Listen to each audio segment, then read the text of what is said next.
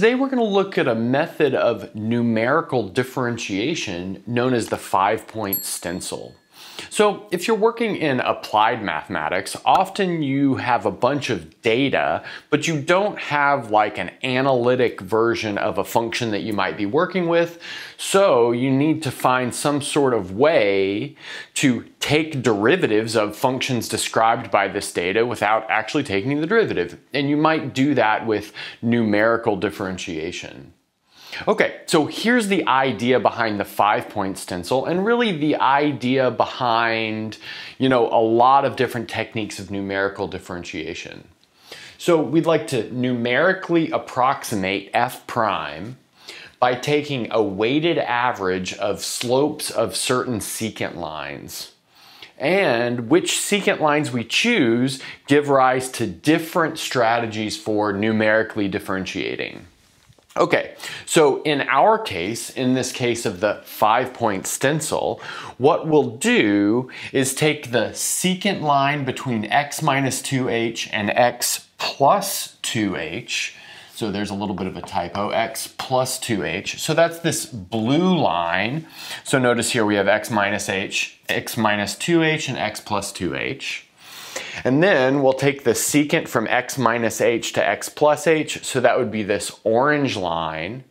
And our goal is to find a weighted average of the slope of the blue line and the orange line to very closely approximate the slope of the actual tangent, which is this magenta line. Let's get into the derivation of this rule. So we're going to start with the Taylor expansion of a function f near a point x.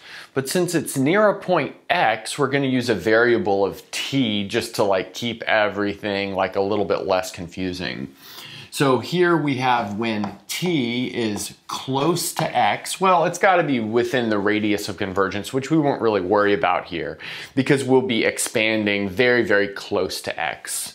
Okay, so when t is close to x, we have f of t looks like the sum, as n goes from 0 up to infinity, of the nth derivative of f evaluated at x divided by n factorial, and then t minus x to the n. Okay, great. But since we want to work with things like f of x plus h and f of x minus h and so on and so forth, I think it's probably not a terrible idea to look at a special case of this when t equals x plus h. And then we'll specialize to some other values of t as well, like on the fly. Okay, so that's going to give us f of x plus h is equal to the sum. We still have n going from 0 to infinity, the nth derivative evaluated at x over n factorial, and then x plus h minus x will be just h to the n power. So we have something like that. And then we'll get similar things for f of x minus h, f of x plus 2h, and so on and so forth. Okay, so let's expand some of these out and see where we're really going here. So we've got f of x plus h will be equal to f of x plus f prime of x times h, so that would be the n equals one term, and then plus 1 half f double prime of x times h squared plus 1 over 6, that's 1 over 3 factorial, f triple prime of x over or times h cubed. And then I'll write one more, 1 over 24 f quadruple prime of x times h to the fourth plus, and I'm just gonna sneak this in here, h to the fifth times some other stuff. Everything left over we can factor an h to the fifth out of. Okay, so there's our f of x plus h, but let's recall that we wanted to find the slope of the secant between f of x plus h and f of x minus h. So that means we also need an expression for f of x minus h. But that's actually not too hard to grab just from this similar expansion up here. Notice if we had x minus h inside of here, we would have exactly the same thing except for minus h to the n, which means we would get an alternating series. So whenever we have an odd power of h, we'll pick up a minus, and whenever we have an even power of h, it will stay a plus. So that's going to leave us with f of x minus f prime of x times h plus a half f double prime of x times h squared minus a sixth. We have f triple prime of x times h cubed minus, or sorry, that should be plus 1 over 24 f quadruple prime of x times h to the fourth, and then plus another term that involves h to the fifth. It's not the same type of term, but it's another term with which we can factor an h to the fifth out of the whole thing. Okay, but now let's notice that these alternating signs give us some motivation to either take the sum of these and have those cancel or the difference. Since we're trying to numerically approximate f prime, we'll want to take the difference because we'll want to hold on to f prime. If we were trying to numerically approximate something like maybe f double prime, we would take the sum because then that would clear out the f prime terms, but it would leave us with the f double prime terms. Okay, so anyway, let's take the difference. We have f of x plus h minus f of x minus h. Okay, so what cancels here? Well, this f of x and this f of x cancel. This f prime of x and the other f prime of x will double up, giving us 2 f prime of x times h. The f double primes will cancel because we're taking the difference. These will double up to give us 1 third f triple prime of x times h cubed. The f quadruple prime things cancel, and then finally we'll be left with h to the fifth times some stuff. Remember, we're thinking about h being very, very small, so this is a negligible component of this whole thing. Okay, so now we have something like this. Okay, now from here we're gonna play the same game with f of x plus 2h and f of x minus 2h. So let's do that. We'll have f of x plus 2h. So how will that expand? Well, let's notice if we had f of x plus 2h here, we would have a 2 to the n, h to the n up here. That's how that would change. Okay, so let's write that out. We'll have f of x, and then it'll be plus 2 times f prime of x times h. And then let's see, that'll be plus another 2 times f double prime of x times h squared. That's because we have 2 squared over 2, so that'll cancel out. And then we'll have 2 cubed over 6, so that's going to be 8 over 6, which is the same thing as 4 over 3. So plus 4 over 3 f triple prime of x times h cubed. And then we'll have 16 over 24. So let's see, that simplifies to 4 over 6 or 2 over 3. So that'll be plus 2 over 3f quadruple prime of x times h to the fourth plus our h to the fifth term. But now if we take f of x minus 2h, we'll get essentially the same thing, but now it will be an alternating sum. So we'll have f of x and then minus 2f prime of x times h, and then plus that will be 2f double prime of x times h squared minus 4 thirds, f triple prime of x times h cubed, and then plus 2 thirds f quadruple prime of x times h to the fourth, and then plus our h to the fifth term. Great. And now that motivates us to again take another difference to cancel out maybe some of the terms except for the f prime term. So let's do that and see what we get. So this is gonna leave us with f of x plus 2h minus f of x minus 2h will give us so this term will cancel, the f of x term, and then these will double up to give us 4 times f prime of x times h. The f double primes will cancel. These will double up to give us plus 8 over 3 f triple prime of x times h cubed.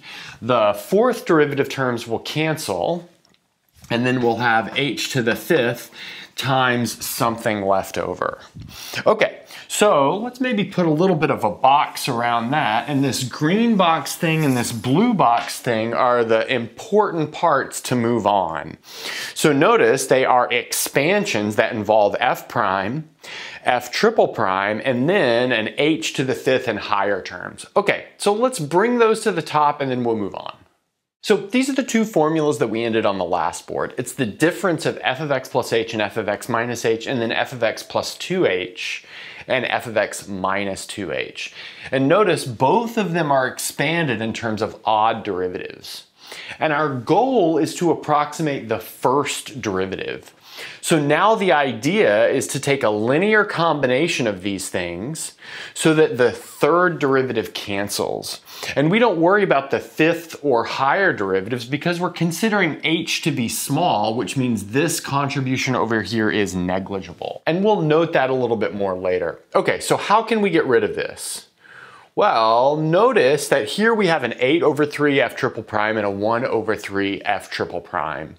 So that motivates us to maybe take this first line and multiply it by 8 and subtract the second line. So let's do that. So we have 8 times f of x plus h minus f of x minus h minus f of x plus 2h minus f of x minus 2h will equal what? So we're multiplying this by 8 and then subtracting it from the lower term. So 2 times 8 is 16, minus 4 is 12.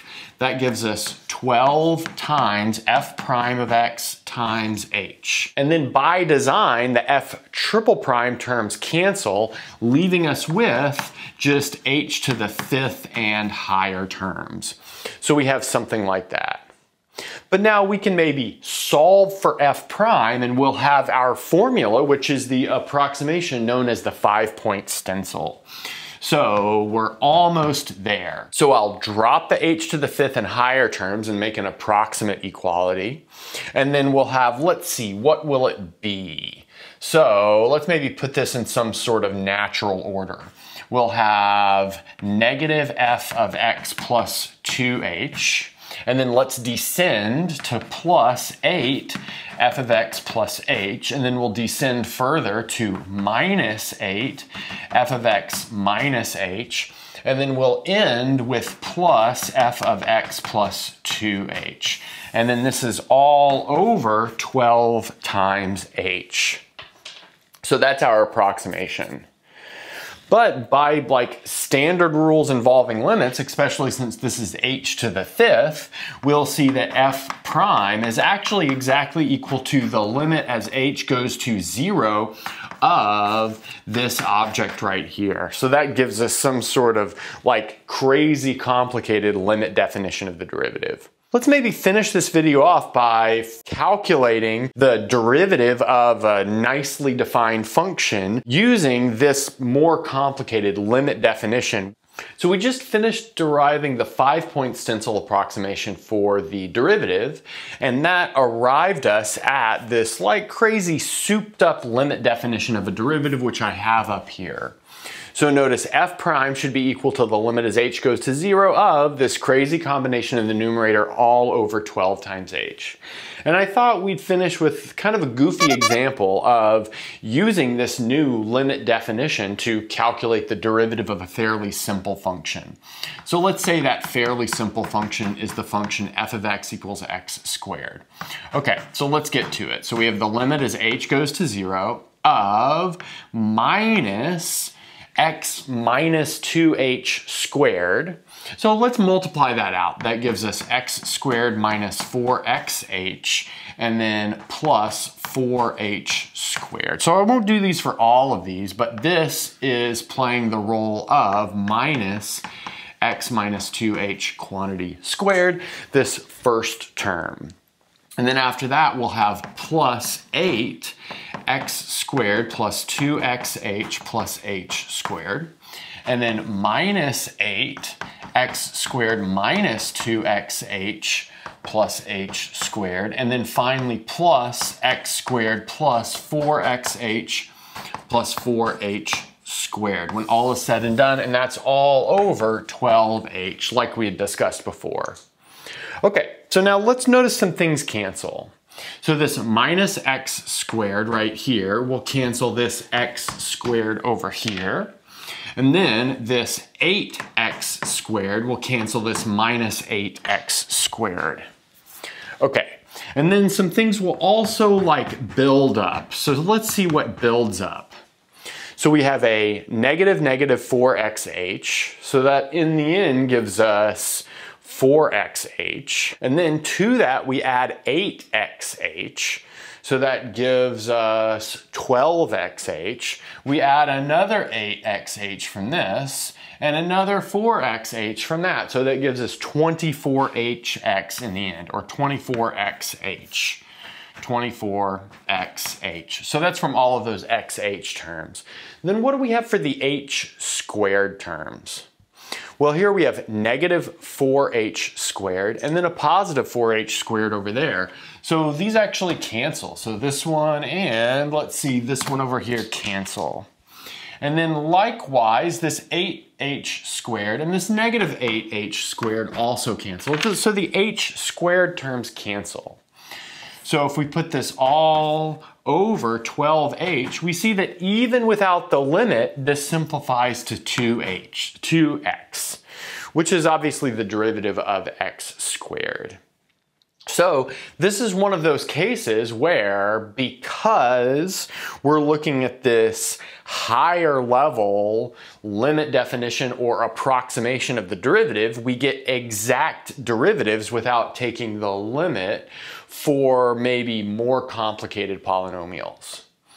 So maybe I'll leave you with a question, and that's what's the highest degree polynomial that this expression will calculate the derivative of without having to take the limit, just like we saw here with a quadratic polynomial.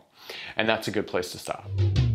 Thanks for watching and sticking around until the end of the video. And since you're here, don't forget to gently press that like button, subscribe, ring the bell, and select all notifications to never miss a video. If you want to get your name in the credits like you see here, access the live seminar series, review videos before release, and more, go to patreon.com slash michaelpennmath and become a Patreon member today. If you want full ad-free course content, subscribe to my second channel, Math Major. I've got courses on linear algebra, complex analysis, and proofwriting, among several others. And that's everything. Bye.